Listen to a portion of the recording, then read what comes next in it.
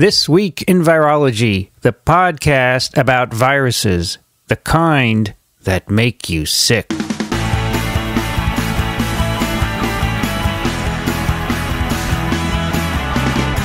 This Week in Virology, episode 170, recorded February 10th, 19, uh, 2012.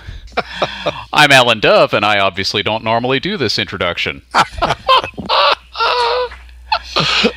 Joining me this week on TWIV, uh, from the wilds of Fort Lee, New Jersey, we have Dickson Despommier. Hello, Alan. Hello, Dickson. Things are good here. How about you? Things are good here. Yeah. Got some snow? I flubbed the intro, but other than that, I'm okay. Ah. Vince does three takes before he actually goes for it anyway. That's no. right. I'm just going to do this in one take. Uh, so I, I think it's totally appropriate. Absolutely. Let people know what they're in for on this episode. You betcha. And joining us from North Central Florida, we have Rich Condit. Hi, fellas. How you doing? Rich. Hey, Rich. Well, doing good. Did, you, did I hear snow? You got snow? Well, I'm asking Alan if he has any. Uh, no, not yet. They're saying it's going to, but today we're having another typical for this year, you know, beautiful, sunny, That's right. t-shirt weather type of day. So Flowers are out. Yeah. Everybody's happy. yeah, we'll see what happens. How about you, Rich? How are things down there? 73 degrees, partly Right. cloudy skies. It's good. it's all good. Not bad. Yeah. Not bad. You're, the, the reason people go to Florida in the winter. That's usually. right. This is it. All right. So uh, I think we have a fun show lined up here. Um, although uh, first first item on the agenda, we'll start off with a little bit of sad news. Uh, Norton Zinder has died. Oh, dear. Yeah. So um, Gee, Is- I knew him. did you? Yeah, he was. Well, he was at The Rockefeller. right? Rockefeller for a long time. No, no, no, I knew him. I knew him. Gee. Yeah. So he Died died. at the age of 83, just uh, yesterday or the day before. Uh, it's at Friday. I think he he died. And we just found out about it this week. Okay. Yeah. So he, uh, according to the, he graduated from Columbia University, Yep. your fine institution, at the age of 18 years old. Right. so he was a slow starter. Right. uh, went to work with, uh, did graduate work with um, Joshua Lederberg. That's right. Uh, and Lederberg was at Wisconsin. yep. And, and he discovered uh, bacteriophage mediated gene transduction in bacteria, There you go. studying P1 bacteriophage. I, I, looked, uh, I looked up a little bit of this stuff and uh, I didn't look into it in any detail, but this is one of these things where it was a phenomenon which, if you didn't know what was going on Mm. when you were in the process of discovering it, would have been enormously perplexing. That's when I've read the history of the early molecular biology, and you and you read if you go to some of those old papers, maybe we'll cover them on a future TWIV. But it's just it, it's mind-boggling what they were looking at. How did this get over there? Or they knew the structure of DNA. Right. Right. Okay, I guess they knew it was the genetic material. Yes. Uh, Which and was also phage- discovered there, by the way. The phage was uh, P1 phage, which goes into cells and in the process of its infection chops up the uh, host chromosome and, uh, for whatever reason, probably none, uh, packages some of that into virus particles so that when you get a lysate out the other end, you got not only virus but also particles that have host DNA in them. Here, here. This can be used to, hey, it's gene therapy on bacteria. Yeah. That's You right. Deliver those pieces of DNA to other bacteria. Yep. Uh, And the patient dies, but the therapy is a success. well, so um, uh, uh, that was used as a gene, uh, gene mapping technique for a long time, and the phenomenon Right. itself is of interest. Yep. Yeah. Yeah, big guy in the field. So he went on to um, uh, take, I guess, a faculty position at Rockefeller, right? That's right. And uh, he and a graduate student isolated a bunch of bacteriophages that were specific for pilus containing male E. coli. Uh-huh. Uh, so they, they called them, since that's the F factor, the F pilus, they called them F phages, F1 through 7.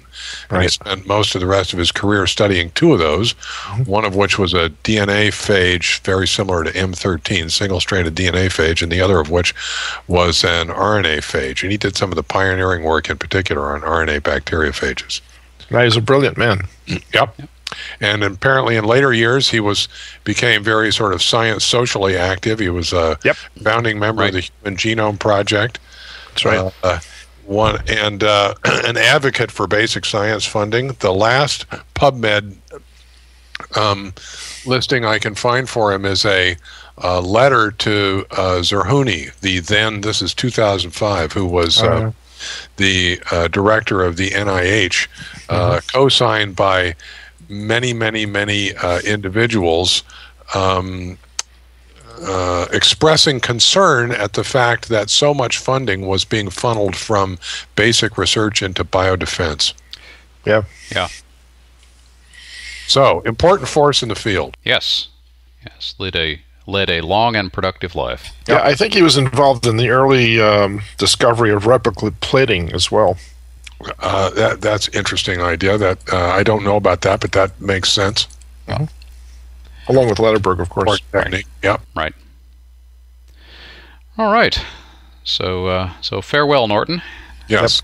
And uh, moving along, we've uh, we've got actually a historical piece from a little bit further back as our first item on the agenda. And uh, Rich, this was your pick. I think it's I think this is going to be great to talk about. Uh, so this is a um, a book that came out a few years ago. Um, it's called an, inqui- an Inquiry into the Causes and Effects of the Variolae vaccinae, a disease discovered in some of the western counties of England, particularly Gloucestershire, and known by the name of the cowpox, That's right. by uh, some guy named Edward Jenner. Right. So uh, I always like these historical things, and uh, so this is the original publication by Edward Jenner describing uh, vaccination for smallpox, which is the first. It's the birth of immunology. It's the birth of uh, vaccination. Uh, it's the first vaccine uh, vaccination ever described. So uh, in the Western world. uh, yeah, well, Right. so a little bit of background here. I know we've done this before on a couple of occasions, but uh, I'll try and be brief and do a little bit of background. The disease at issue here is smallpox, which was a disease acquired by a respiratory route that disseminated through the body and caused a severe blistering disease and had uh, a case fatality rate.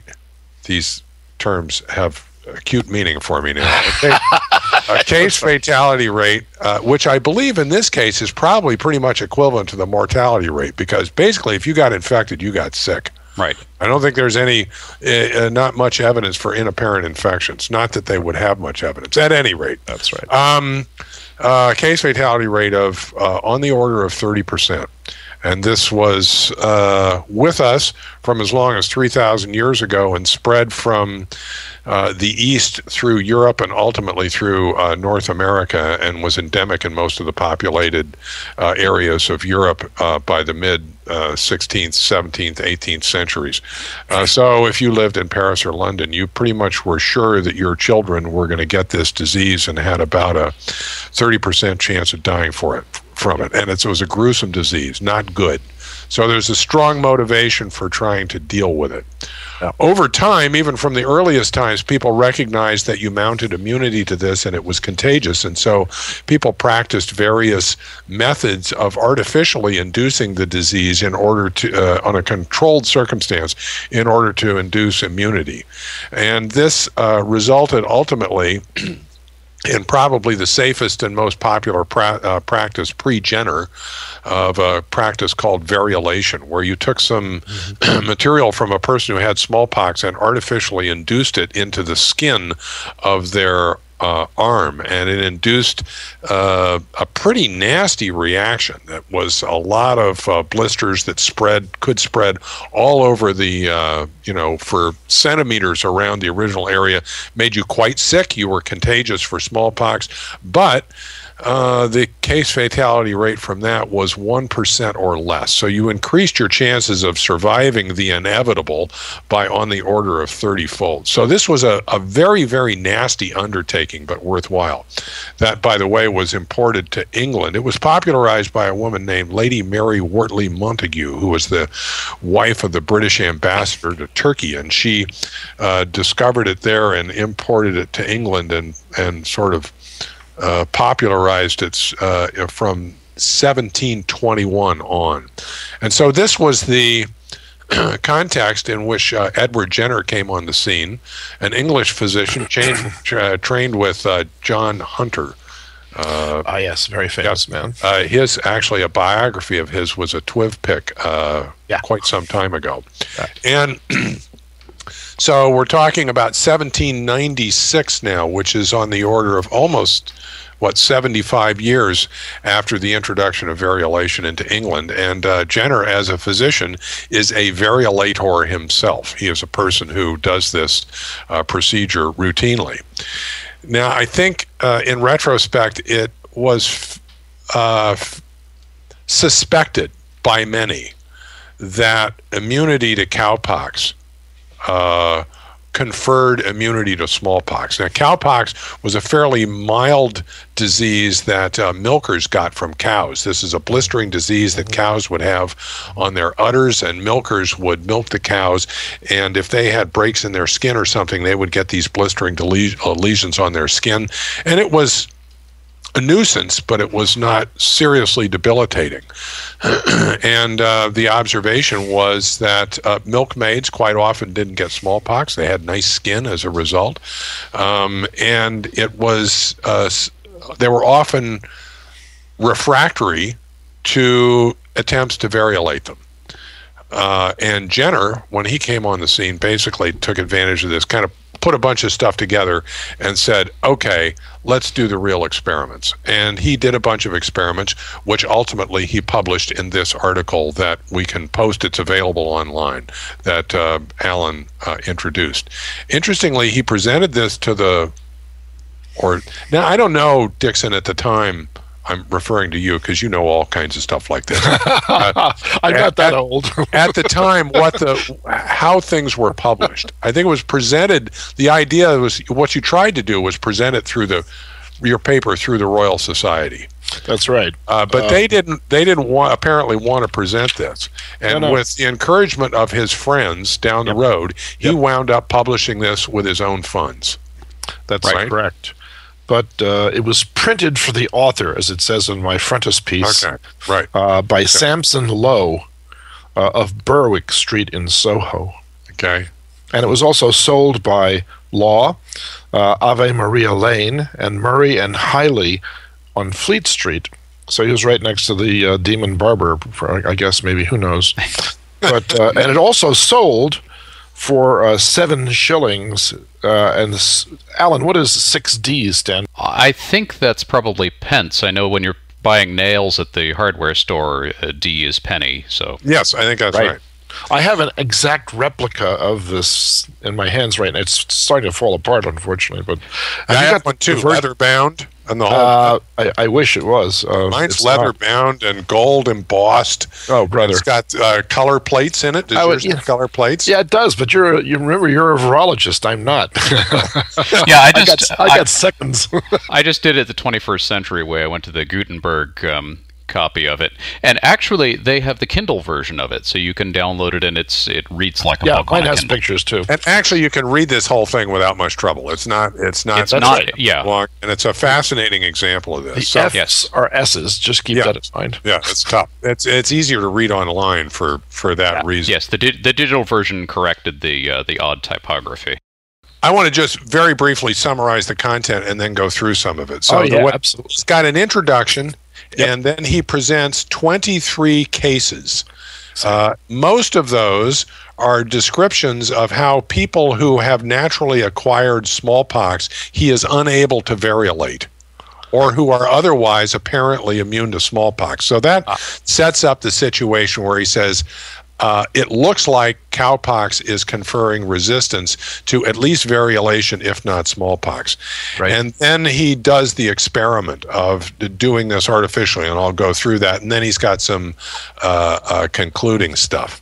Um, so, And this is um, this is by the way pretty typical of um, 18th through probably early 20th century um, uh, treatises of this sort. Um, you know, if you go if you go and you read Darwin, you'll you'll see this sort of an introduction, Yeah, yeah. and then now I shall lay forward some cases and and just presenting the data um, case by case in a, in a story format. And he actually wrote this for his friend, right? C. H. Parry.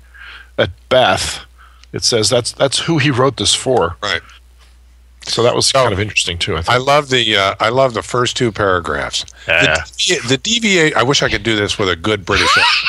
Alan could. Uh, maybe. The deviation of man from the state in which he was originally placed by nature seems to have proved to him a prolific source of diseases.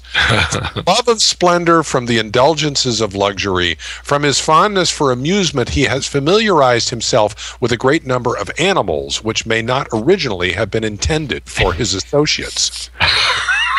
Indeed. The wolf, disarmed of ferocity, is now pillowed in the lady's lap. He's talking about dogs, dudes. Right.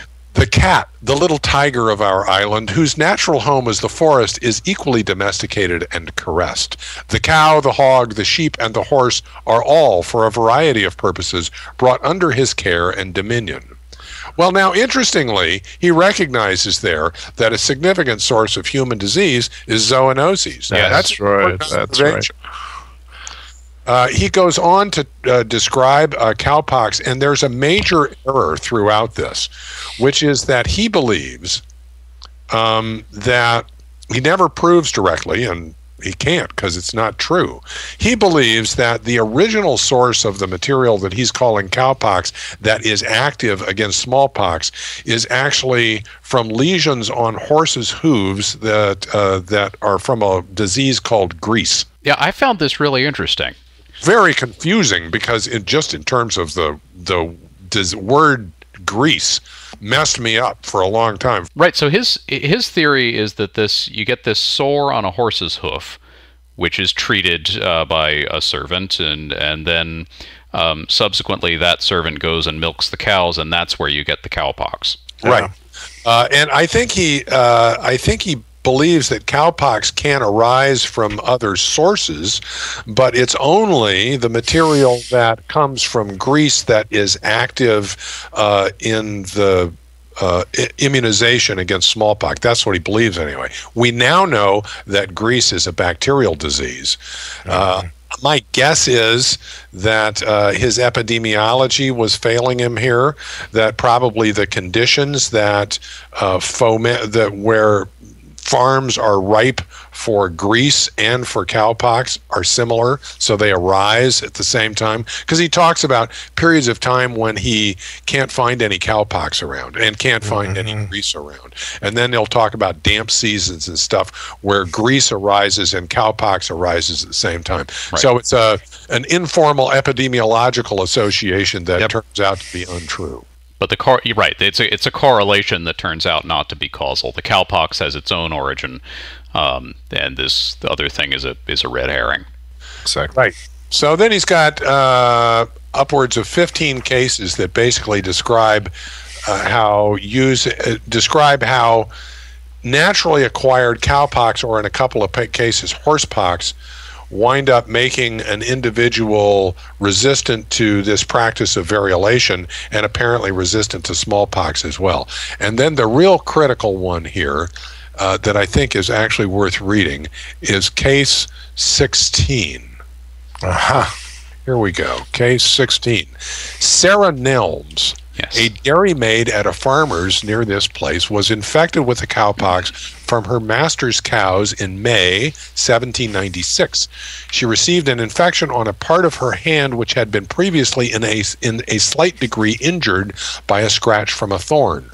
Uh, this is an important observation. These uh, the disease is transmitted through breaks in the skin, and he discusses that at some length later on. A large pustulous sore and the usual symptoms accompanying the disease were produced in consequence. The pustule was so expressive of the true character of the cowpox as it commonly appears on the hand that I have given a representation of it in the annexed plate. And there's a drawing of this that's a famous drawing. It shows up in a lot of textbooks. Right. Right. The two small pustules on the wrist arose also from the application of the virus to some minute abrasions of the cuticle, but the livid tint, if they ever had any, was not conspicuous at the time I saw the patient. The pustule on the forefinger shews the disease at an earlier stage. It did not actually appear on the hand of this young woman, but was taken from that of another. Ooh, he fixed the data. And is it for the purpose of uh, next, for the purpose of representing the malady after it has newly appeared. Okay, case 17. Here's the experiment. To more acutely observe the progress of the infection, I selected a healthy boy, about eight years old. We now know his name was James Phipps, for the purpose of inoculation for the cowpox. The matter was taken from a sore of the hand of the dairymaid uh, who was infected by her master's cows, and it was that was Sarah Nelms, and it was inserted on the 14th of May, 1796, into the arm of the boy by means of two superficial incisions, barely pre- penetrating the cutis, each about a half an inch long. So he's using the variolation technique Right. to do Right. this. On the seventh day, he complained of uneasiness in the axilla, his armpit, and on the ninth day, he became a little chilly, lost his appetite, had a slight headache. During the whole of the day, he was uh, perceptibly indisposed and spent the night with some degree of restlessness, but on the day following, he was perfectly well. Um, I, well, just he, he healed up. Okay. Right. Uh, in order to ascertain whether the boy, after feeling so slight an affection of the system from the cowpox virus, was secure from the contagion of the smallpox, he was inoculated on the 1st of July, following fo- 1st of July following with variolous matter taken from a pustule. Okay, so this is six weeks later, and because variolation was a common practice, he could actually challenge him with smallpox. Right. No IRB, no nothing. No, no, no. Okay? Several slight uh, punctures and incisions were made on both his arms, and the matter was carefully inserted, but no disease followed.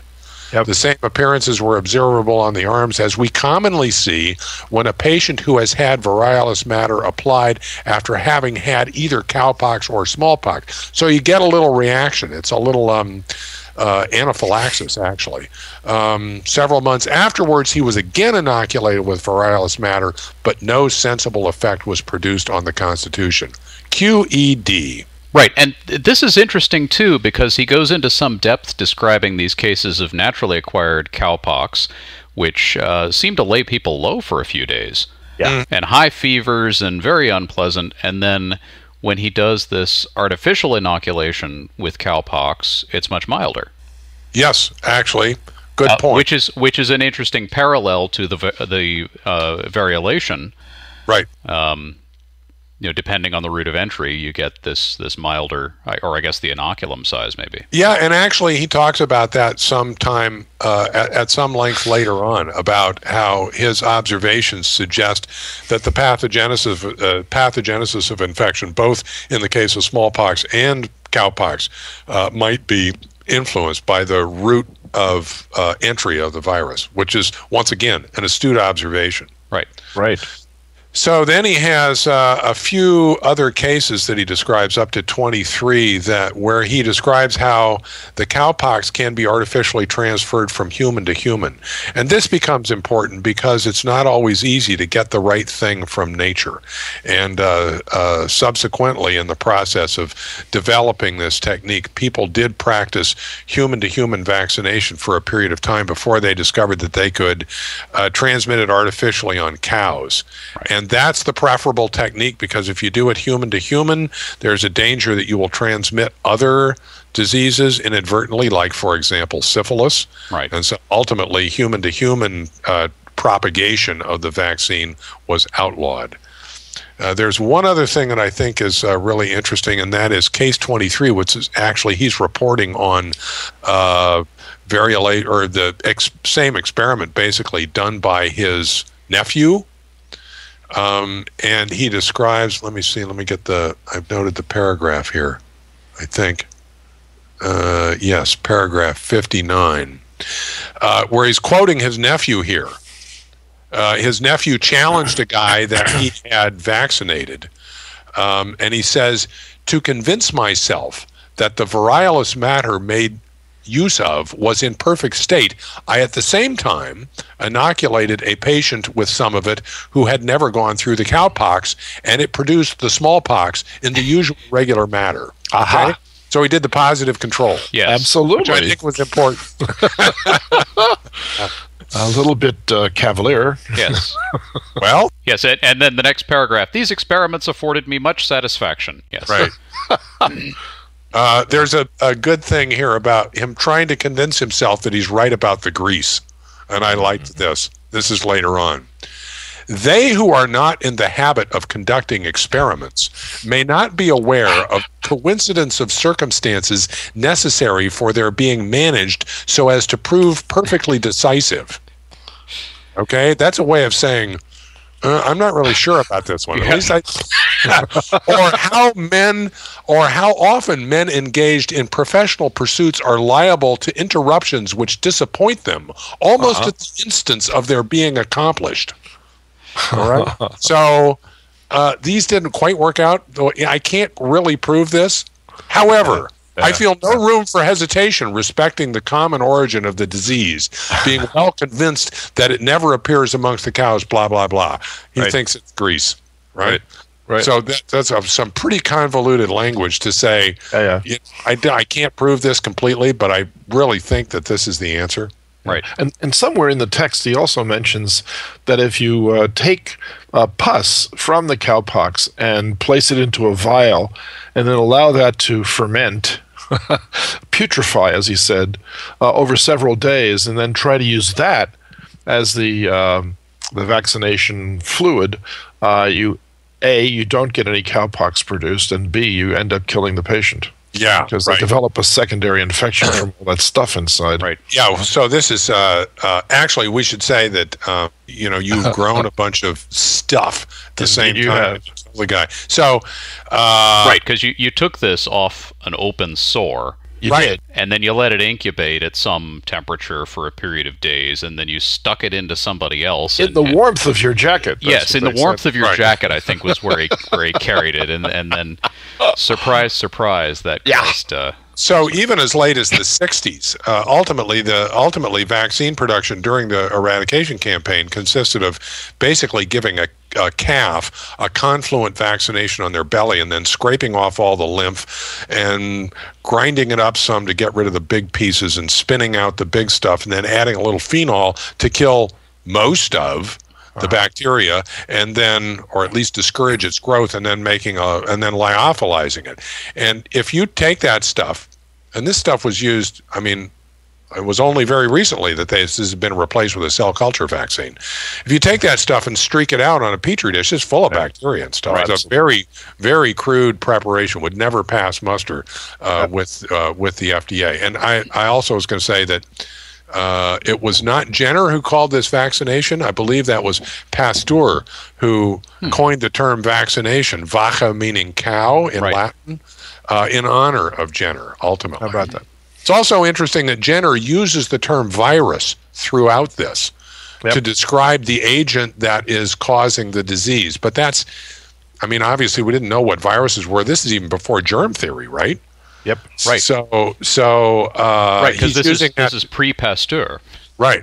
So he's talking about a, he's using the word virus as basically a a, a, a malady, right? Right. Right, vi- virus in its original um, meaning of poison, Right. Sure. But So- but but lucky choice of terms. variolation was quite common before Jenner's publication, though, right? Yes, and as a matter of fact, after he published this, so variolation refers to the use of smallpox, Right. uh, the smallpox itself, in order Ah. to induce immunity. Okay, that's how that uh, term is used, and that goes all the way back. And there are several different methods. That goes all the way back Yeah, to the Chinese. You can uh, you can uh, uh, snort crusts of uh, of scabs from powdered scabs from people who'd had mild disease. That was Right. as long as the 10th century, long ago as the 10th century AD. Sure. This uh, cutaneous variolation was developed later in the East and ultimately im- imported uh, to England. Now, at, at the same time, it's noteworthy that after Jenner published this, Yeah. uh, several people came up and said, "Wait a minute, wait a minute, I did this 20 years ago." All right. There's a guy in particular named Jesty, uh, Yep. who in fact can lay claim to having done this 20 years before Jenner. Sure. But first of all, he didn't do all the controlled experiments, and he didn't publish. He didn't publish. Okay. And he also didn't. Uh, he didn't do the challenge experiment. No, no. All right. So Jenner gets credit for really having done the definitive set of experiments, uh, uh, and uh, others. It's not like he was uh, working in a vacuum. Uh, Right. uh, he had variolation to work with. He had a lot of local rumor and some knowledge of the notion that cowpox would confer immunity to smallpox. But he did the uh, the definitive experiments and published them. Well, and that's fairly typical of these historical papers. You know, you have Newton versus Leibniz or Wallace versus Darwin. Um, there are these ideas that seem to be kind of floating around, and usually a couple of people will um, will will hit on them, and uh, the one who not only publishes but in in many cases does the better job of explaining what's going on um, usually ends up being the one that we remember. Or if you can afford to self-publish, Yes, yes. it helps a lot.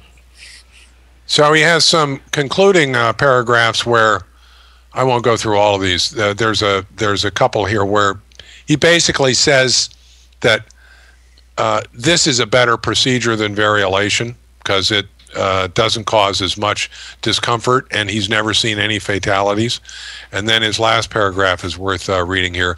Thus far, I have proceeded in an inquiry founded, as it must appear, on the basis of experiment, in which, however, conjecture has been occasionally admitted in order to present to persons well suited for such discussion objects of a more minute investigation.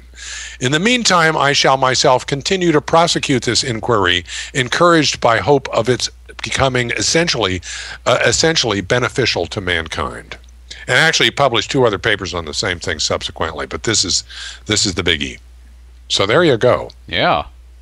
It's quite Great interesting, though. You know, he has an interesting history here. I'm, I'm reading a little about this in a, in a recounting of the history of of uh, smallpox vaccination, and it said that uh, he was also a uh, hot air balloon aficionado. Oh, is that And- right? I didn't know. yeah, that. yeah. Uh, Montgolfier brothers in France. Uh, he actually he built two of his own. In this case, hydrogen-filled balloons.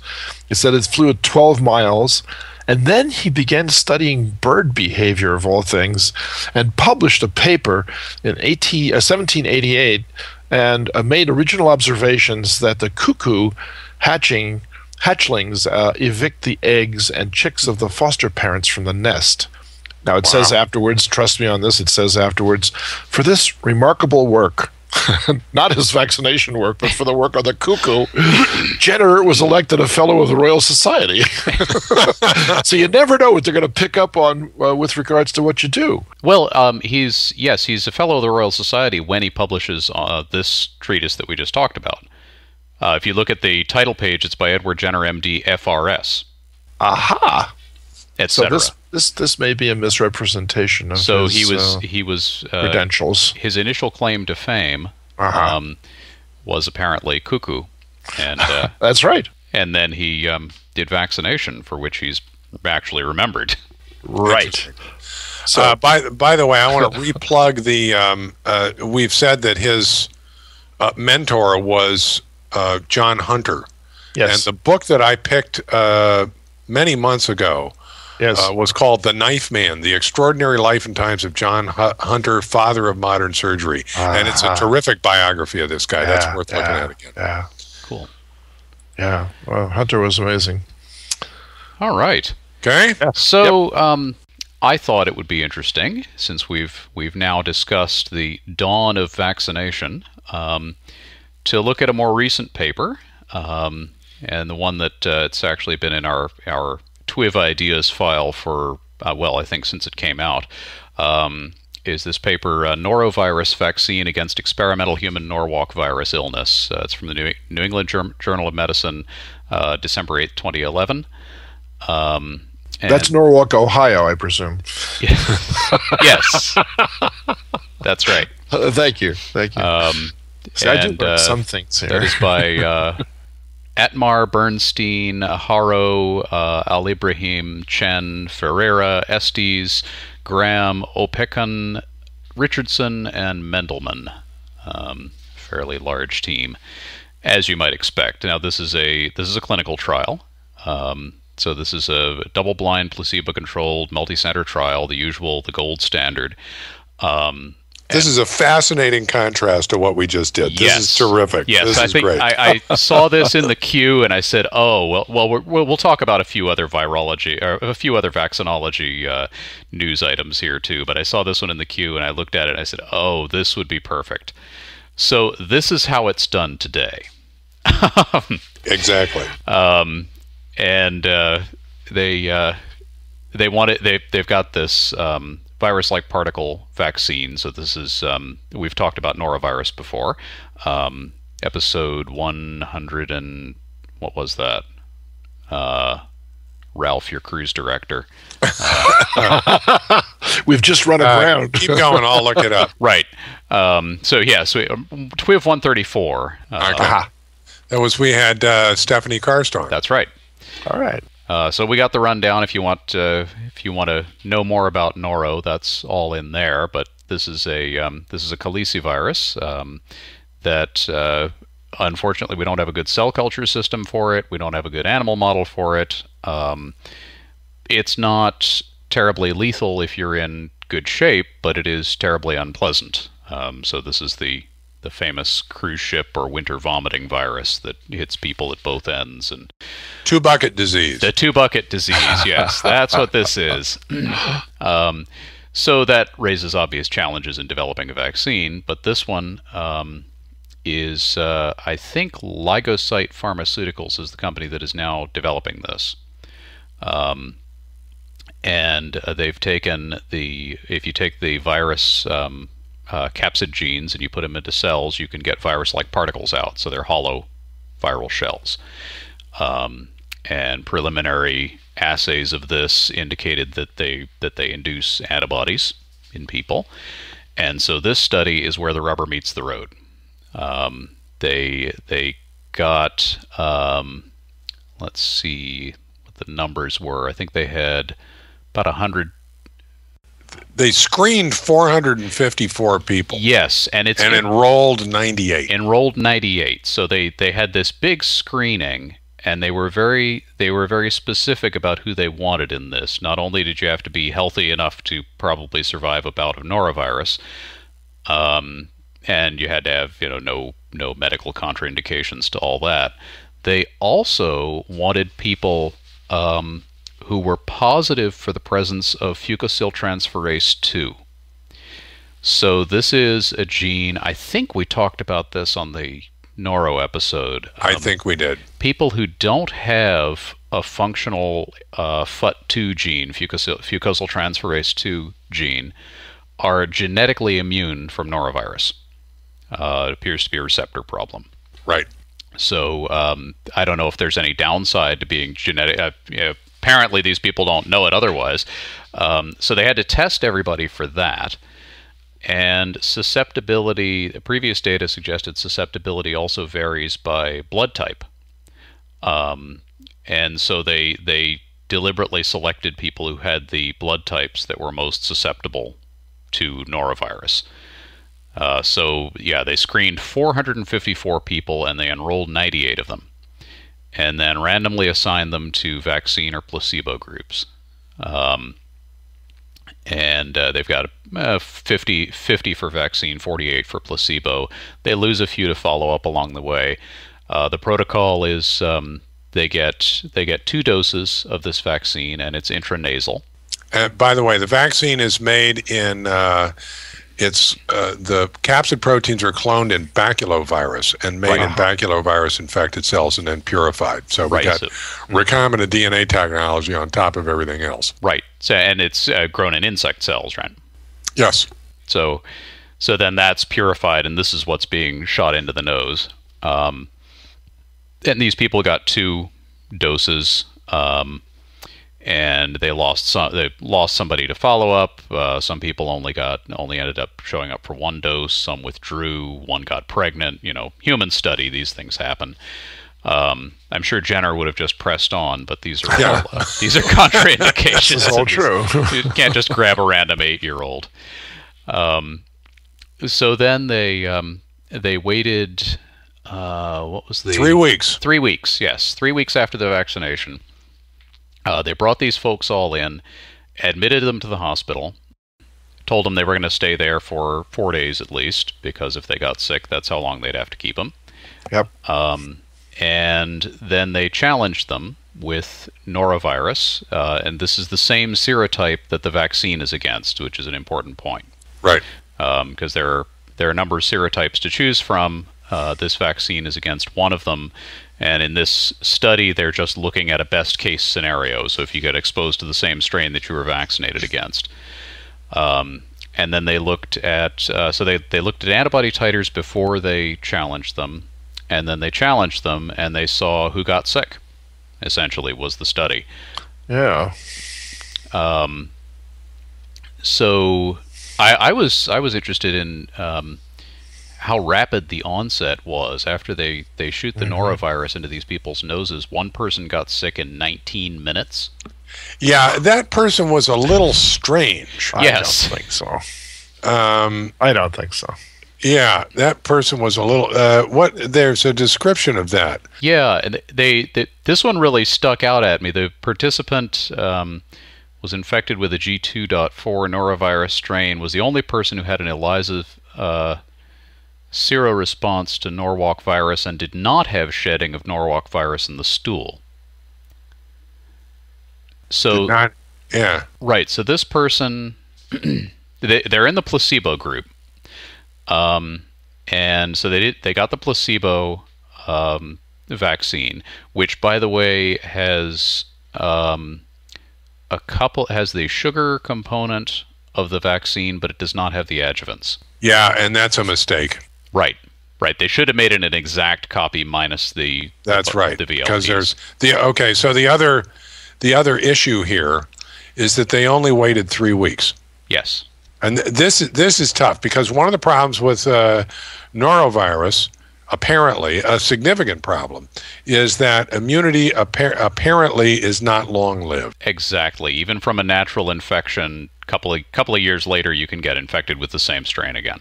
But and I don't know what the logic was here, but it seems to me that this this and we haven't really gotten to the results yet, but the idea here is to I would think is to show that you can in fact get an antibody response and that you can get protection.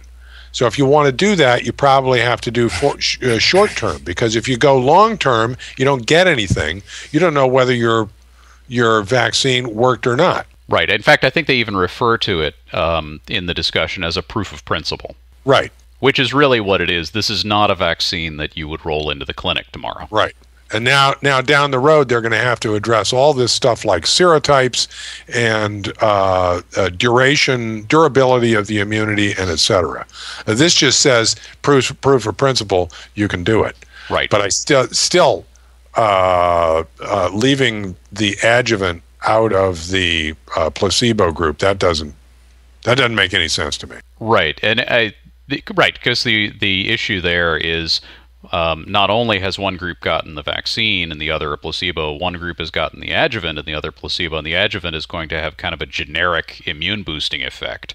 Right. So it's it's supercharged the immune system, um, gives them the response against the vaccine, but it also probably gives them some secondary ability, and they they mention that as a as a confounding factor. I don't know why it was done that way though. Uh, it might have been some some risk issue, uh, although these are approved adjuvants. Um, so that was just the just a study design choice. Um, so the results, um, the thing essentially works in this very, as we've said, limited setting. Um, so they're looking at uh, what's the bottom line here is um, uh, Norwalk specific IgA response. Um, that's uh, that's you know their the immune response met their threshold in 70% of the people who got the vaccine. Right.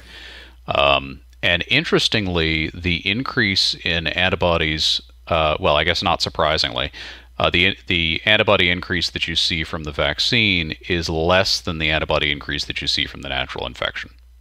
Right. Right. So in people who get the vi- who get the virus, uh, who get sick in the um, uh, in the challenge part of the of the assay, whether they were vaccinated or not, they get a boost in immunity. That's more significant than what the vaccine did. So the vaccine's not as good as a natural infection at that. And it is a an intranasal administration. I wouldn't. It surprised me a little bit that an inactive, just a protein. It's an inactive uh, thing. It's a virus-like particle. Would actually work um, administered uh, intranasally Yes. in the mucosa. That I, maybe I shouldn't be surprised at that, but I was. I, I was a little bit too because you'd think uh, obviously the idea is it's going to roll down the throat, but uh, wouldn't you just digest it? yeah. So uh, well, and I think I think the idea, among other things, is to uh, infect the the nasal mucosa as well. You want to, I mean, it is a in a way a mucosal infection ultimately. Right. Uh, anyway, so and you want to. So the idea is, I guess, among other things, to induce mucosal immunity, which they get because Right. what they're getting That's is right. IgA. uh, right. IgA, uh, which right. is a diagnostic of a mucosal immunity. Right, and I guess the um, you know you would if it were just the the VLPs, you just they they would just break down. Um, but the addition of the adjuvant is probably what's causing an immune response. It makes it look more, more like a threat. I was interested that one of the things, it's not actually an adjuvant, but one of the components is a thing called chitosan, Yes.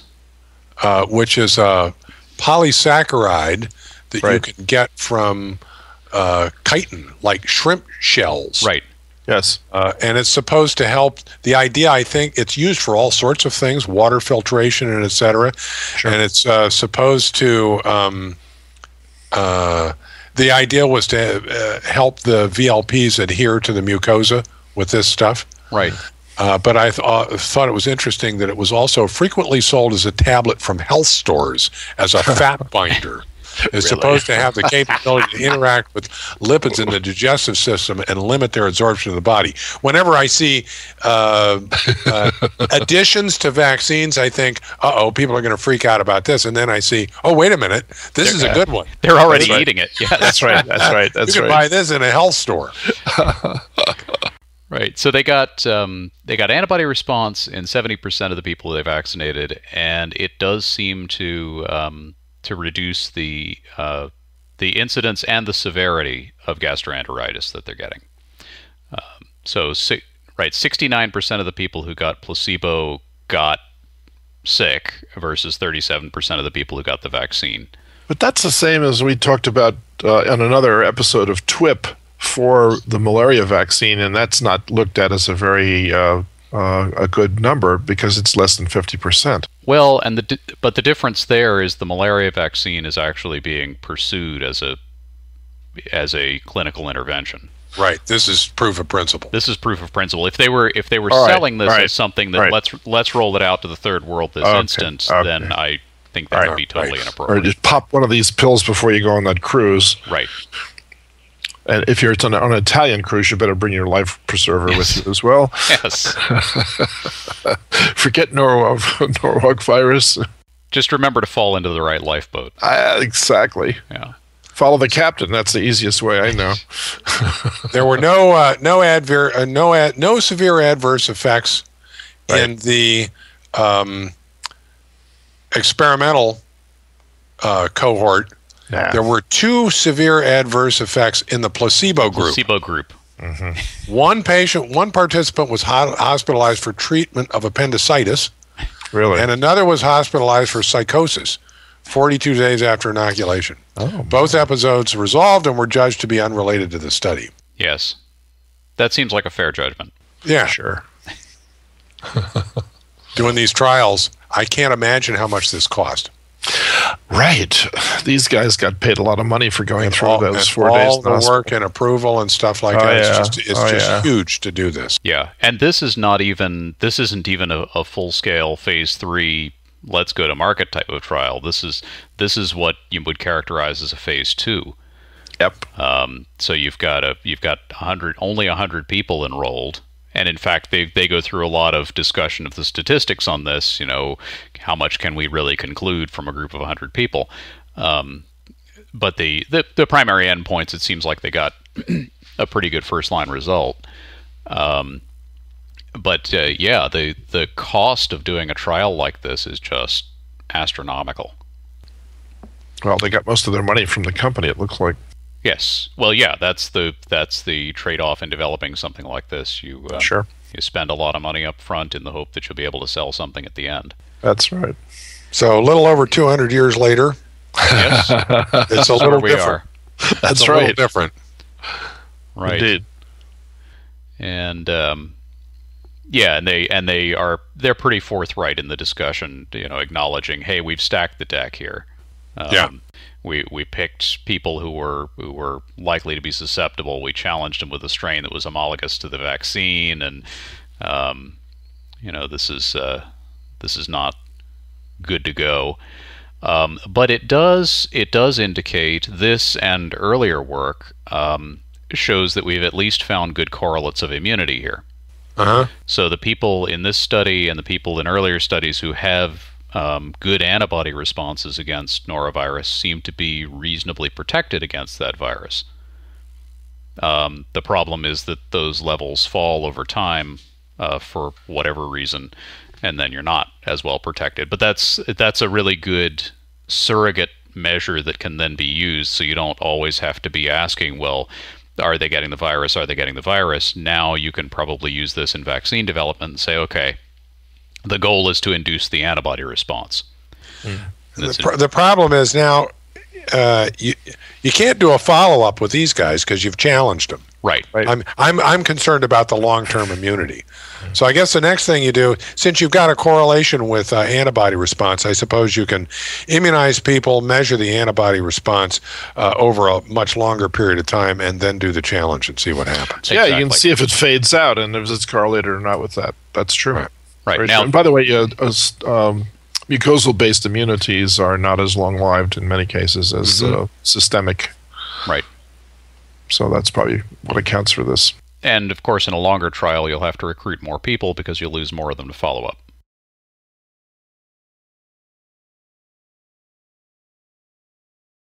It is a, a heroic piece of work that went into this. Have quite they obviously. considered moving to Norwalk, Ohio, and trying this again under natural conditions? uh, well, let's see. They're from they're from Baylor, also Cincinnati Children's Hospital. So they're already yeah they're already in the state. Uh, and University of Maryland and Johns Hopkins. uh, So they're from and and Lygocyte Pharmaceuticals is in Bozeman, Montana. Yeah, Is it now? Because why not? you Hey. could go work there, Dixon, and go There fishing. you go. I'm sure it was picked for that very reason. Quite possibly.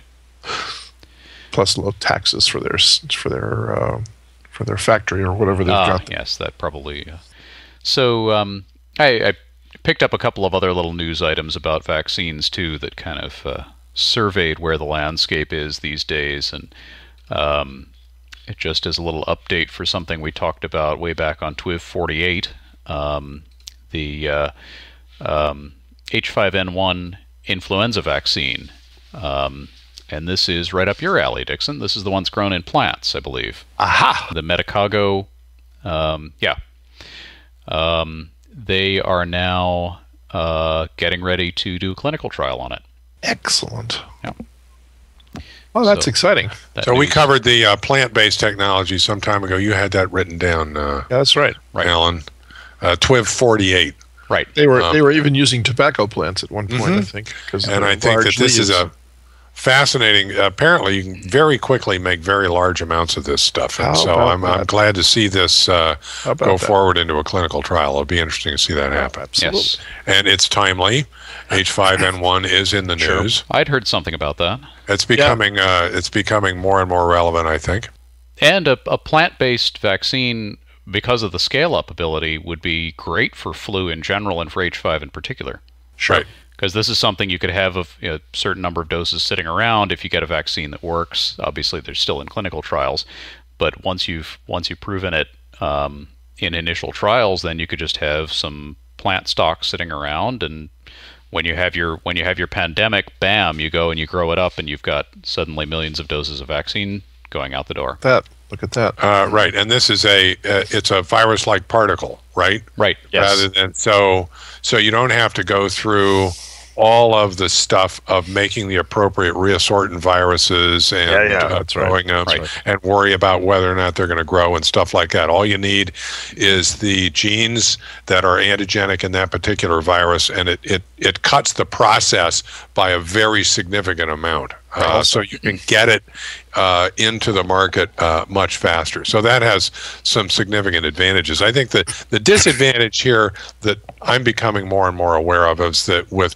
both this and the other inactivated vaccines, is a paper that we uh, talked about uh, recently, is that there's at least a suggestion that you get better heterotypic immunity with a live vaccine. So Yes. as has often been discussed, the live vaccines may have some advantages because they replicate relative to the um, either subunit, as this one is, or or killed vaccines. But in terms of dealing with a problem like flu uh, cheaply and rapidly, uh, Right. this has some ser- serious advantages. Yes. Gentlemen, I've just uncovered a paper in my random searching on PubMed called Bioprocessing of Plant Derived Virus Like Particles of Norwalk Virus Capsid Protein under Current Good Manufacture Practice Aha, there you Regulations. go. So, This is- out of the uh, Biodesign Institute at Arizona State University in, uh, I think that's in Tempe, Arizona. It is. Uh, so it's right on target for our topic today, too. Right. Nice. Great. Good catch, and that just came out in December as well. It did. Even in New Jersey, I can access this literature. Yes, yes, it was in plant cell reproduction. Uh, Plant cell Let's see. Plant cell. Plant rep- cell reproduction. That's correct. That's exactly correct. I will. exact- I will paste that into the. Uh, Yeah. Here they are even making monoclonal antibodies in plants as well. So a whole bunch of uh, new approaches to uh, producing biomedically um, relevant molecules using our friends the plants uh, could jumpstart another uh, facet to this uh, field of urban agriculture. absolutely right, because you you would want to grow those in a contained greenhouse. You bet. and By the, to by the way, did we ever formally acknowledge that Vincent isn't here today? we have not, but I think they may have summarized that he's he has laryngitis, or he may be indisposed, and uh, he's out there giving away money for the NIH. I hope. You know, trying to give away money. Yeah. yeah, exactly. Vincent is, doing, Vincent is doing the hard job. Vincent is doing service, and he's uh, trying to uh, help decide who gets money and who does. Uh, actually, you don't make funding decisions. No, on you study don't. section. Do You not. just evaluate the science. That is exactly. It, it ends up it ends up being a, a funding decision because only the top whatever it is now 0.0001 percent are going to get uh, Oh, it's That's really sad. Really sad. No, no, not by much. not by much is right. Particularly now that they've uh, suddenly decided they're going to take 50 million dollars from one place and move it over to another. Yep. But that is a that is another topic for this week in funding. So you found another one here too. Uh, Yes, I did, and this um, this I thought was just kind of a, a neat um, view of of how incredibly successful immunization has been. So this is um, uh, Merck and Sanofi Pasteur are collaborating on a um, a hexavalent pediatric vaccine. Um, so this thing, they're they're now in phase three clinical trials. Uh, Actually, they went into phase three clinical trials in April of last year, so they're now in this. Um, and the trial, we we were talking about how much it costs to look at 100 patients. This is 1,440 infants are in this phase three trial, and they're looking at uh, safety and immunogenicity of this hexavalent. Um, what is it? Uh, DPT uh, rotavirus. Um, uh, DPT. Yeah, D- DTaP. DTaP. Um, inactivated poliovirus. Uh, Haemophilus influenzae B and Hep B. So that's diphtheria, t- uh, tetanus, pertussis, uh, all three serotypes of polio, uh, Haemophilus influenzae, and hepatitis B, uh, all jammed into a single shot. Wow. And of course, the reason we like to combine these vaccines is because so many of them have been developed that you now you know, we're now addressing all these these diseases that used to kill lots and lots of people. Well, a couple of the Yeah, ones yeah. I just listed still do. Um, and in order to get all those into people early in life, you want to do it as quickly as possible. Um, so now this uh, this would be great. You know, that's uh, that's a couple less shots that kids have to get. Exactly. I think that's an important aspect of this. It's a couple Yep. of shots that kids have. You're going to get better compliance Yes. if you do that. Sure. Uh, now, is there is there a known downside to giving multiple vaccines at the same time? I don't know the answer to this. I my reading on this, uh, I haven't delved deeply into it, but I've read a little bit about um, the the combination vaccine problems that that have come up, um, and this goes this goes a fair way back. Um, you know, the polio vaccine is a combination of three serotypes. The measles, mumps, rubella is a combination of three different viruses. Um, and there's a lot of tinkering that has to go on in the early development of these things to get the balance right, because inevitably one thing will be more immunogenic than another. And so you can't just give equal amounts of everything because then you'll get a robust response against a couple of things and no response against a couple of others. Um, as far as how many things you can incorporate in a vaccine and still have it work, I don't think that's been nailed down. Um, this would certainly seem to me to be the, the, at the cutting edge. Uh, Right. So my guess is there's going to be a lot of uh, data collected on this to Yes. address that that issue, among Right. other things. Right. And Well, that'll it- be good to have. and it's a safety and immunogenicity trial, so they're going to be trap- tracking um, not only does anybody have any any problems with this, but also um, do you get robust responses against all of these things, and how long do those responses last? Are they equivalent, and, and comparing the parameters on all of those? So Right. there we are again, 200 years later, Yes, with a bucket full of vaccines. right. So many that we have to stick them together and uh, see if we can uh, administer them all together to make things easier. Right. Great. Alan, and I remind, think- okay. remind me again as to the list that you uh, gave us as to which ones are live, uh, attenuated versus just um, molecular vaccines. Oh, you're going to put me on the spot here. Uh, well, I thought see. about that. I think it- all of these are either subunit or killed. yeah, Yes. that's that's right. So I was thinking, you know, but you've got other uh, candidates there like uh, yellow fever and, and mumps and that sort of thing, and measles that. Uh, uh, you wouldn't po- you wouldn't probably put those all together into this vaccine to give it, would you? Or would you? Don't know. I don't think so. I think you're going to want to separate, uh, if only if only for clinical reasons, you'll want to separate your live virus vaccines from your killed ones because there are there are whole populations of people who should not get live virus vaccines. Right, and then of these uh, of these first, then uh, assuming this all works, how many uh, how many injections total do you need to give in order to make someone fully immunized? That I do not know. I think most of these in this list are are usually given as three shot courses. Yes, I would I would guess that's true too, Um, except for tetanus, which is just given as a boost. given every right every 10 years but um yeah i think these are this is probably going to be a three shot regimen. And it's interesting to me that um that ipv is included. Um and and i've been thinking a lot about um smallpox recently not only because of this show but also because of this whole biodefense discussion that's that's erupted again recently. Um and it occurs to me that if we hadn't tried to eradicate smallpox, we would probably now have a much safer vaccine for it that might very well have just been incorporated the way we're incorporating polio vaccine. You know, this is a hexavalent vaccine that's intended for the first world market, where there's no polio effectively. And yet we're just we're going to keep vac. I fully favor this. It's absolutely not a criticism. I think it's an excellent idea to keep vaccinating for that virus. Um, but it's interesting to me to see how even when somebody said, "Oh, we're going to eradicate this," um, you can simply incorporate this in a multi-subunit vaccine, and then you never have to worry about it again.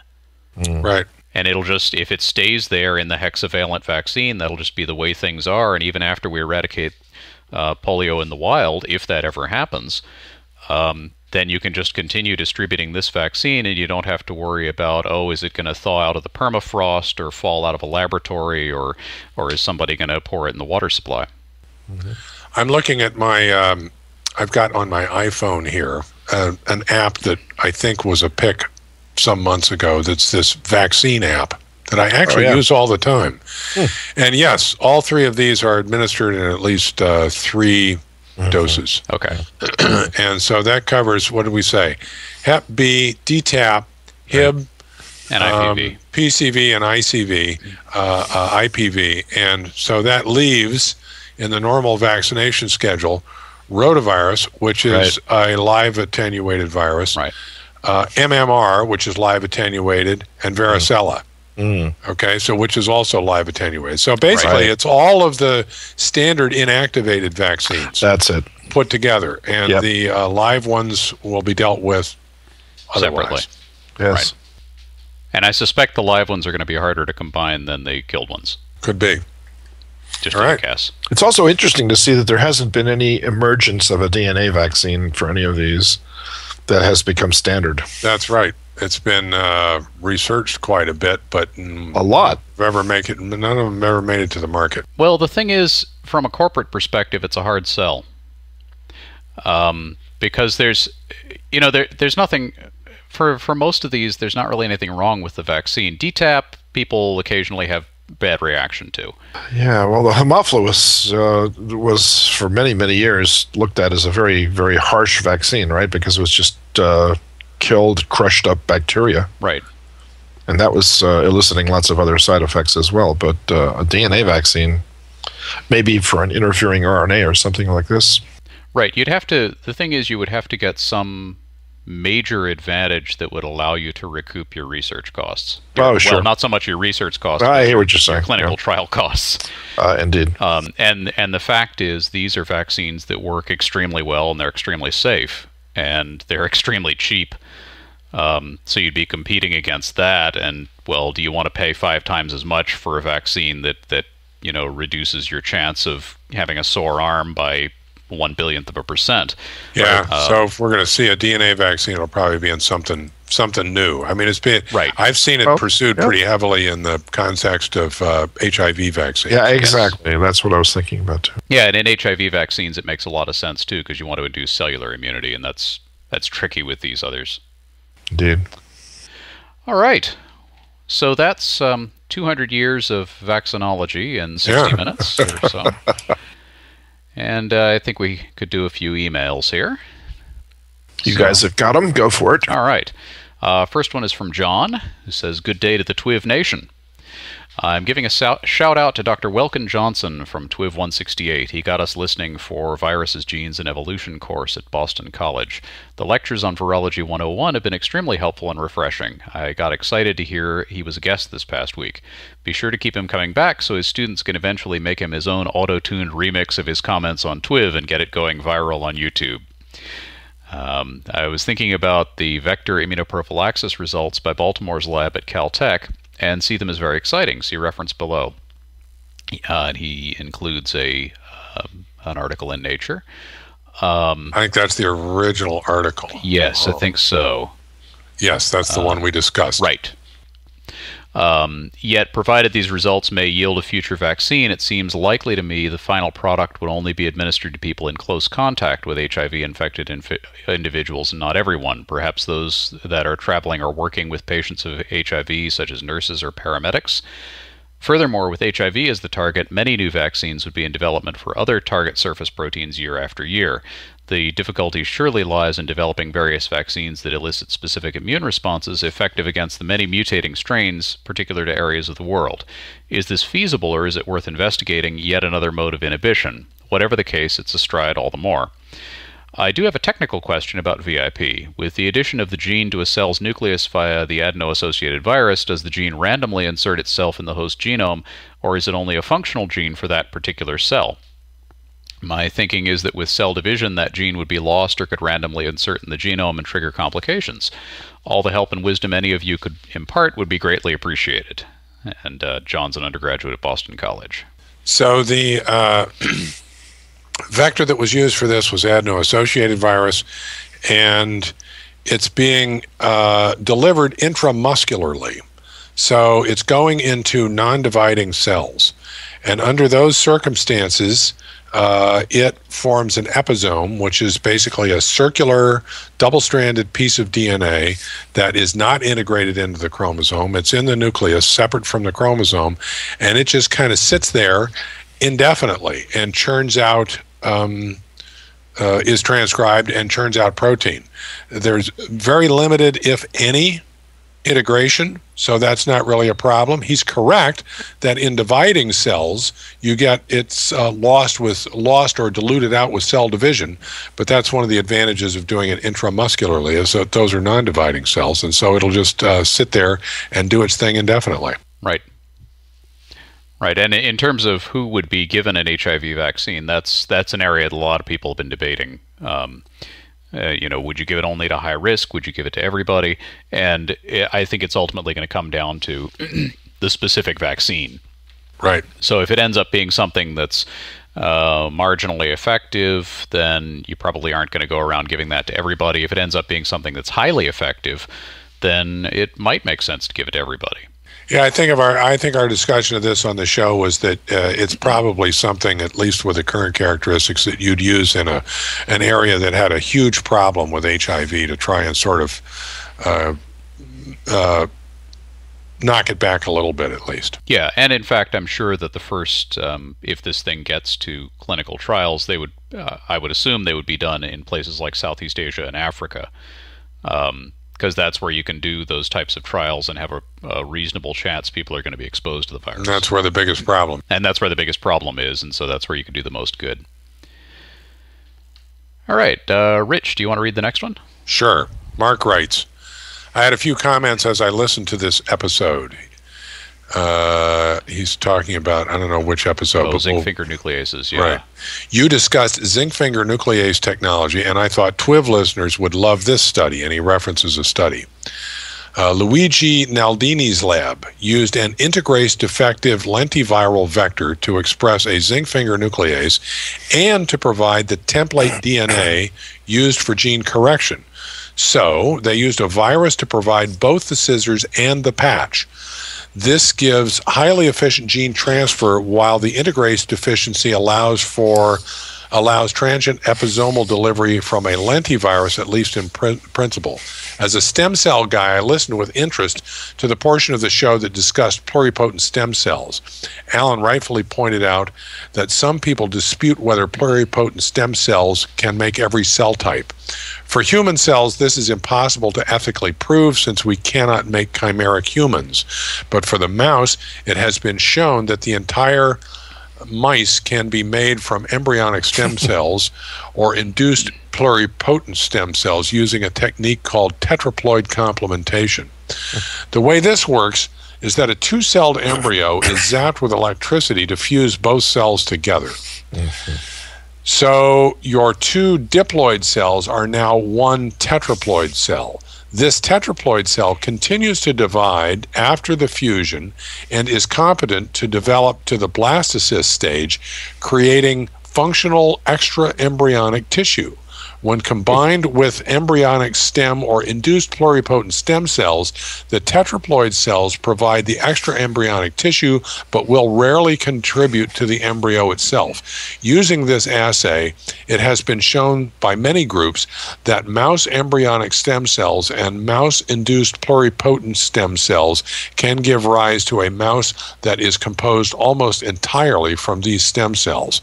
Whoa, I'm thinking Brave New World here. Yeah. This is really amazing. it should be noted that this is almost impossible to prove, uh, that it is almost impossible to prove that 100% of the cells are from the stem cells.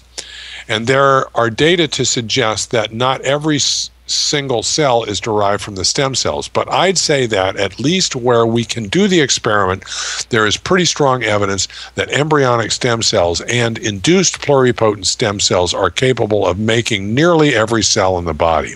Mm. Our being able to recreate all of those cell types in a dish is another issue entirely, but this experiment, I believe, demonstrates that the potential exists. Our current challenge is to understand the developmental biology required to get each cell type. We attempt to translate how different cell pathways are activated and silenced over the course of time from model organisms to a human developmental time frame. One such success just happened next door to my lab. Lorenz Studer's group has recently demonstrated the derivation of transplantable mem- uh, midbrain dopamine neurons from human pluripotent stem cells, and he gives a reference for that. Yeah. And this is Mark, who's at the uh, he's in the SK, uh, SKI, that must be Sloan Kettering Sloan Institute, Kettering. yeah, uh, stem cell research uh, facility. Excellent.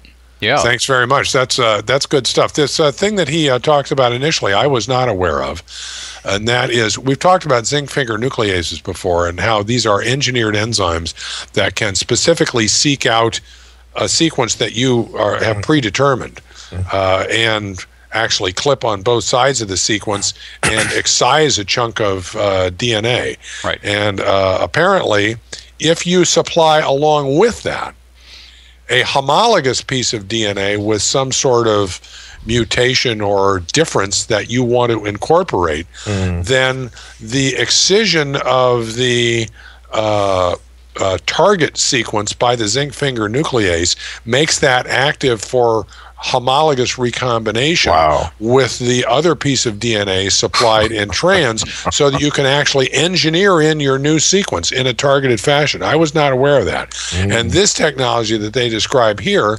supplies both the uh, new sequence and the targeting nucleases in a lentiviral vector so that you can deliver them at the same time. Awesome. Whoa! yes. My God. Any sufficiently advanced technology is indistinguishable from magic. My God. Good Lord. Yeah, good Lord. That's right. Yeah, and I do. I, we probably ought to do that paper on a. Yeah, that might be that might be a good one to do. And I, I did know um, the some of the backstory, at least on the um, the induced pluripotent stem cells. I just put that little asterisk there because there are there are people who still contend, hey, you haven't made them all yet. Um, but I actually I I did um, a meeting report for the New York New York Academy of Sciences uh, at a meeting where Lawrence Studer gave a presentation about exactly his transpl- transplantable uh, dopamine neurons. So, so yeah, it's very very cool work. Great. All right, shall we do one more? Sure. All right. Uh, Kent writes, "Dear Jed Fry Masters." Uh, first, I wanted to thank you for the yeoman's effort all of you put into making a great podcast. I subscribe to over a dozen podcasts, and over the past year or so, TWIV has become one of my favorites. As a self described science geek, I can say that the show you produce is truly one of the best science podcasts that can be found. I'm a computer, thank you. Uh, I'm a computer consultant by trade, but I have a decent background in biology and a soft spot in my heart for microbes and viri of all kinds, which would probably sound strange to most people, but I think you all feel the same way. Uh, I've learned quite a bit listening to you on a weekly basis for the past year, so my thanks to each of you. You're quite welcome. Mm. Yes, we, we enjoy it too. Um, uh, you may have covered this recent development in the XMRV world already. I must confess I'm a few weeks behind in my podcasts, but if not, I thought it would be good a good opportunity for you to address what seems to be the nail in the coffin for now of the XMRV to CFS link. By the uh, way, this letter's been hanging around for. Yes, this letter has been hanging around. We we are a little behind on our email, so apologies. Um, and he provides a link to the retraction uh, or a news article about the retraction from Science of the Lombardi et al. paper. Um, it appears that the much disputed evidence for the link between XMRV and CFS may have all but disappeared at this point. As a somewhat educated layperson on this subject, uh, thanks to your outstanding podcast discussions on this topic, I'm left with a few questions at this point. First, what, if anything, went wrong in the vetting process for the papers that were published in support of the XMRV CFS link? Obviously, the reviewers can't be expected to reproduce every experiment, but were there warning flags that should have been that should have kept these papers from being published in the first place, or is this just the sometimes messy process of scientific inquiry sorting itself out pretty much according to plan, or a bit of both? Shall we take that one? Yeah. Um, you know, I can't do this in detail, but uh, my understanding is that there were uh, reservations about the. It went through several reviews, review cycles, and people had reservations about it uh, initially. but I don't know uh, the particulars of all of that. Um, but you know, and uh, you know, peer review is not perfect. Peer review is not perfect. Um, That's right. In this case, I think it, this was certainly not one of the best papers that science has ever published. Um, that was obvious to me on first read. Uh, I didn't dismiss it on first read because it looked like the more or less the right experiments had been done, and it was a potentially interesting finding. Um, there were there were cell biologists who were upset about some of the ways that the cell biology was described, and there was a lot of uh, there there were one thing that stood out to probably everybody was the the PCR reactions were very very sensitive and therefore very susceptible to contamination. Um, but overall, you know, it was a we talked about the the paper on TWIV when it came out. Um, right. It was vetted pretty thoroughly. It was vetted pretty thoroughly the the difficulty arose after it came out and there was a lot of scientific com- commentary about well you know this doesn't look so good this doesn't look so good. That's a normal part of the process. What was not so normal was that there was a lot of ad hoc rationalization and the story seemed to shift a little bit about exactly how the experiments were done. Mm-hmm. um, so that brings us to uh, the second question did any of the individuals involved act inappropriately during this process, either scientifically or ethically? For example, did Harvey Alter just misspeak at the Croatia conference in 2010, or should he have been much more circumspect with his declarations given the evidence he had at the time? Of course, hindsight is 2020, which is why I caveat it with at the, at the time. Actually, the link you sent us was to the retraction of the Low Alter paper. Oh, but, was it? Okay. Oh, yes. Yeah. But the conversation is relevant to all of these papers anyway. Right. Uh, I don't think we know uh, for sure whether anybody acted inappropriately, scientifically, or ethically. I mean, people. I mean, people behaved in a fashion that I didn't think was entirely appropriate. But in terms of real malfeasance here, uh, like um, uh, cooking data or something like that, uh, we have no solid evidence that there was any inappropriate uh, action. But well, there are there are things that don't smell good. Yeah. but we don't have any conclusive evidence yet. I think time will tell. And I, I would say, and I did say at the time, um, that certainly the folks at the WPI were not very um, reassuring in their behavior after this paper came out, and they, for example, immediately introduced a commercial test uh, for a virus that hadn't been shown to cause any disease, even if their work was 100% correct. You didn't get to a causal link. Um, and public statements that were made, particularly by Judy Mikovits, were um, disturbing, to say the least, uh, embracing concepts that have been thoroughly discredited. And uh, I, I, think that certainly didn't help in any of this discussion. Um, as for the low alter paper, um, again, you know, that was a paper. It may not have been the best thing that ever appeared in PNAS, um, but looking through it initially, it looked like the right things had been done, and to a first approximation, um, it was okay. It was the questions came up afterwards. Well, you know, are these? Is this the same virus, and so on? Um, and did should he have been more circumspect speaking at the meeting that got uh, that got ballyhooed everywhere?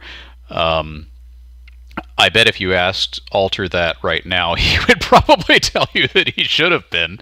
Absolutely. Um, but I, I, think most of the virologists who got involved in this did not know um, just how loud the discussion was going to get. Right.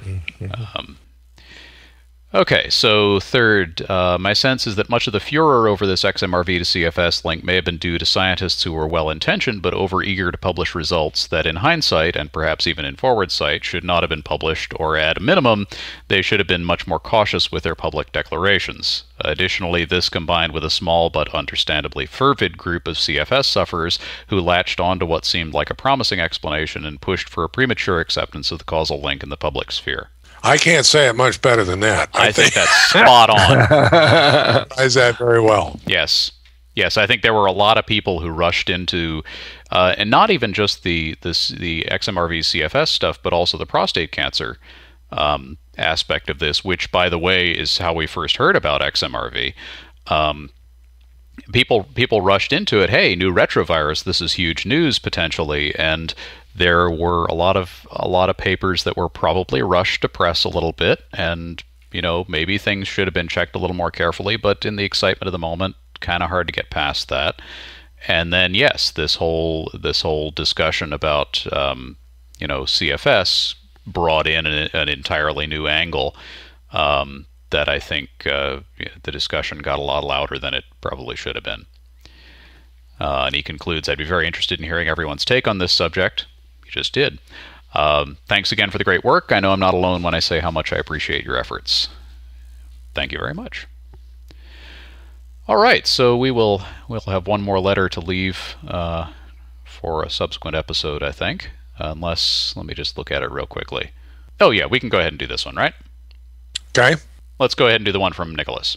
Nicholas writes Dear Vince, Alan, and Rich, I absolutely love your podcast and hope you never stop producing it. I count on the three of you to keep me up to speed on some of the most interesting virus research being published and look forward to downloading a podcast every Sunday evening. I also really appreciate the fact that you continued producing TWIV through the holiday break. I wanted to bring a paper to your attention that you might consider covering on TWIB. It just came out in the journal PLOS Pathogens, and I thought it was really creative. Basically, the group engineers a dengue virus to be targeted by microRNAs that exist only in macrophages and dendritic cells. While this virus replicates normally in other cells, it is completely blocked whenever this specific microRNA is present. They then use that virus to infect mice and demonstrate that without the availability of replication in macrophages and dendritic cells, the virus cannot spread in the animal. I found this strategy a really unique way to study the function of particular cell types in response to infection. Uh, keep up the good work, Nicholas. Yeah, that's uh, that's fascinating. That's great. Yeah. I haven't actually looked at the paper. That ought to go in the queue too. Yeah, definitely. Uh, Nicholas, I'd, I'd love to meet you sometime to let you know that I sometimes am also on this show. Sometimes. Yeah, you had some you had some absences there, Dixon, but you've been pretty regular. I know, I know. But, Listen, uh, uh, actually, not voluntary. uh, dude, I always think of you as a founding part as a founding partner in this. This is important. Okay. Yes. I, I was not offended by Nicholas's letter. Trust me. Yeah, and um, I'm over here. I'm over here.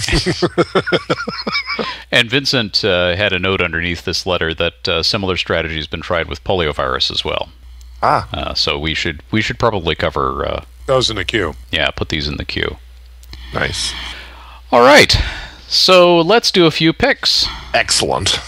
Dixon, do you have anything? I do. I just emailed it to you. Ah, I will have to check my email, which is Check your email because you're just going to go crazy over this. It's hopefully just working better than my Skype connection. That's probably right. It's an amazing high speed photography uh, take on a drop hitting a smooth uh, liquid surface. They're, they're the most amazing things I've ever seen, actually. They look like they're made out of glass. cool. Okay, And let some me get glass this blow here. attracted them. They're, they're, tr- they're quite marvelous. Neat stuff. Yeah. Uh, let me see. Oh, here we go. they're just visually beautiful. That's all I can say. And, and a Wow. lot, a lot of what we pay attention to, uh, with regards to our own love of nature, uh, revolves around the beauty aspect. You know, you're attracted to crystals of this or packages of virus. Ooh, that- some of these you would never guess. Look at this one no down here. kidding. No It's The kidding. one that looks like an umbrella. Wow. I know. Whoa. Yes. exactly. Oh, these are great. These really are like awesome. This. This is really cool. I said, I this is I, I, I, that Yeah. made up for four other picks that I didn't have. Absolutely. I really like that. Those those are really nice. I hope Nicholas gets to see these. Yes, Dixon is on the show, and he can. All right, that that's that was my pick. excellent. All right, Rich. Okay, so I have uh, more than a pick. I have homework. uh oh. All you TWIV listeners out there, I got homework for you. So, um, we have been talking about for uh, a while the, uh, shall we say, debate, the ongoing debate about um, the uh, recommendation by a group called the uh, uh, National Science Advisory Board for Biosecurity to redact that is not published parts of the methods for some experiments that expanded the uh, well that uh, uh, uh, passaged H5N1 influenza virus in a fashion that apparently uh, made it transmissible in mammals. And there's some concern that this could be used for nefarious purposes, and so the NSABB stepped in. In the process of talking about this last time, the Fink report was mentioned, and also the uh, seven areas of concern were mentioned that are supposed to be uh, considered in trying to decide whether something could be used as dual use. And I will be perfectly honest with you in saying that I did not know what the Fink report was, and I did not know what these seven areas of concern were. So I went out and educated myself, and I actually dug up the Fink report and I read it. Uh, from front to back. And I would like to give a very brief synopsis of that and and uh, uh, recommend it for anybody who's interested in this uh, debate. So it's called the Fink Report because it comes. Uh, it was a report of a committee chaired by Gerald Fink, who uh, was the who is at the Whitehead Institute. He's a, a yeast geneticist, and the committee met uh, during 2002, 2003, in response to both, obviously, it was after the anthrax uh, scare and 9 11. And actually, part of the motivation too was some papers that had come up that had sort of raised some flags in terms of uh, possible dual use stuff. And uh, so uh, the decision, the idea was that we need some sort of a policy to deal with issues of dual use. So this was done. The umbrella organization is the National Academy of Sciences, which is a private nonprofit uh, society of uh, scholars engaged in scientific and engineering research, dedicated to the furtherance of science and technology, etc. So uh, for science in the public, the National Academy of Sciences is sort of the go-to organization. It's important right. that it's a private organization. Their sort of working arm is the National Research Council organized by the National Academy of Sciences in 1916 to associate the broad community of science and technology with the Academy's purpose of furthering knowledge and advising the federal government. So this Uh, when action is needed, the National Research Council does something. And there are a couple of other, there's the National Academy of Engineering and the Institute of Medicine sure. that do similar things in other disciplines. Okay. So, the National Research Council, if you want something like this done and you don't want it done by the government specifically, you employ these guys. And they created this committee. and the committee is, was, the Committee on Research Standards and Practices to Prevent the Destructive Application of Biotechnology uh, National Research Council. And they produced this report that is called Biotechnology in the Age of Terrorism. Uh, and it is a fascinating document. And I would recommend that people at least read the preface and the executive summary, which is quite good. But I would actually, I would hope that that would engage people's attention to the point of going to the introduction, which has a lot of background and the regulatory environment and et cetera. And I just want to summarize that there are uh, uh, recommendations here. Um, so, in the executive summary, uh, they recommend that one, educating a scientific community. So they had, they recommend that the scientific community be educated in the concept of dual use. They recommend a system for reviews of plans of the experiments, plans for experiments, and that would take um, make use of the existing structure of biosafety committees and the recombinant DNA advisory committee. Uh, and they recommend seven areas of they cite seven areas of concern something that would render a vaccine ineffective, something that would make uh, render confer resistance to uh, antibiotics or antiviral agents, something that would enhance virulence, uh, anything that would increase transmissibility of a pathogen, anything that would alter the host range of a pathogen, anything that would enable ev- evasion of diagnostic or detection modalities, anything that would enable weapons, weaponization of a biological agent. So those would raise flags during um, review. Right. Uh, their other recommendation is um, review at the publication stage. their other recommendation is creation. Aha, creation of the National Science Advisory Board for Biodefense. So this document creates the board mm-hmm. that reviewed these papers and made this decision. Right. And it defines what that board is supposed to do. Uh, and additional elements against misuse, and they have a couple of other uh, recommendations. Mm-hmm. Uh, a role for life sciences in the effort to prevent bioterrorism and biowarfare, and harmonized international oversight. They recommend that this be taken to the international stage. Uh, I think, in the context of the current debate, this is a, a key document that people need to look at, understand, formulate their own perspective on. Yeah, this is how so we got I here. It. This is how we got here. Right. And this is where the NSABB came from. I find it uh, interesting that the NSAB they cre- they propose creating a National Science Advisory Board for Biodefense. That's now called the National Science Advisory Board for Biosecurity. So right. we've tempered hmm. the language a little bit. Right. Hmm any rate, there you go. Cool. Excellent pick.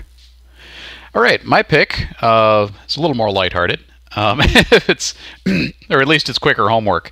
Um, this is a series of videos on YouTube. I've linked to to one of them, and you can in the related videos you can find the others. They're they're called Lab Report, and uh, these videos uh, I'm not actually sure who produced these, but they're they're just interviews with scientists um, talking about their work and explaining why they are excited about the subject that they study. And so this one, I, I linked to one, uh, Jenny Rohn who studies cell shape. Um, and uh, it's just, you know, it shows a few shots of, of her working in the lab. Um, and then just she's talking and explaining what she studies and what's cool about it and why we want to know how sh- how cells determine their shapes. Um, and it just the enthusiasm comes through so clearly and it's just it's just like you know being there um, and this is uh, I, I, thought this was really cool and a, a neat public outreach effort um, to see it, it really is kind of an insight on what makes scientists tick Excellent. I haven't had a chance to look at this yet because it just uh, came on, and I don't want to. The audio will the mess everything will, up, yes. but I will. Um, I'll have a look at this. It looks great. All right. Uh, then we have a listener pick of the week. Um, this is uh, from Jim, who we've read letters from before. He's in Virginia. Uh, honored professors. May I suggest a pick of the week podcast that captures the uh, difficult aspects of creativity and research that may help students of your craft understand the 90% perspiration part of your work? Um, and uh, then he's got a, a link to it. Um, and the description of the hour long podcast uh, follows William Byers of Canada's Concordia University and author of The Blind Spot talks with Econ Talk host uh, Russ, Russ Roberts about the nature of knowledge, science, and mathematics. Byers argues that there's an inherent uncertainty about science and our knowledge that is frequently ignored. Byers contrasts the science of wonder with the science of certainty. He suggests that our knowledge of the physical world will always be incomplete because of the imperfection of models and human modes of thought relative to the complexity of the physical world. The conversation also looks at the implications of these ideas for teaching science and social science. Ooh, which sounds pretty duty. cool. Yeah. Yeah. Yeah, so for those of you who are looking for some deep thoughts on uh, how science operates, um, this looks like a cool podcast episode. Alan, I hope you didn't take offense at his introductory clause, by the way. No, no, I am not not at all offended. Good. Not being a professor or honored, that's not a problem for me. oh dear. All right. You could you can find TWIV at iTunes, the Zune Marketplace, twiv.tv, and microbeworld.org stroke TWIV. Consider subscribing. It's free and lets you automatically receive each new episode as it's posted. If you use iTunes and haven't done so before, please leave a short comment. That helps us stay visible in the iTunes window. Also, check out our Facebook page if you're on there, uh, facebook.com stroke this week in virology. You can also listen with the Microbe World app, which streams episodes to your iPhone or iPad if for some reason you don't feel like subscribing in iTunes. Check it out at microbeworld.org. It's now available for Android devices as well. Um, the short link for that is uh, bit, bit.ly stroke MW Android. Um, we love to get questions and comments from listeners. It makes up a significant part of our discussion, as you've seen in this episode. Send them to twiv at twiv.tv. Dickson, thank you very much for joining us. It's a pleasure as usual. And you are at verticalfarm.com Dot com. and also uh, medicalecology.org Yes, and trichinella.org. and trichinella.org. You're all over the place, Dickson. Yeah, hey, listen. Three places at once. You can't Get to stop a parasitologist. you can't stop. That's what, you know. That's right. All right. Well, thank you very much. And Rich, thank you very much. You're quite welcome. It's always a good time. Having a good time. Great. And uh, Rich is at the University of Florida, Gainesville, and you can see a little snippet of his work at vacciniamodel.com. Which Just a little snippet. yes, which is uh, the virus rich studies modeled as a uh, as a as a mallow bar or uh, Yeah, something like yeah. that. Uh, and I'm Alan Dove. I'm at alandove.com. And I'm also back on Twitter again. The name is cryptically Alan Dove. Uh, You've been listening to This Week in Virology. Thanks for joining us. We'll be back next week. Another TWIV is viral.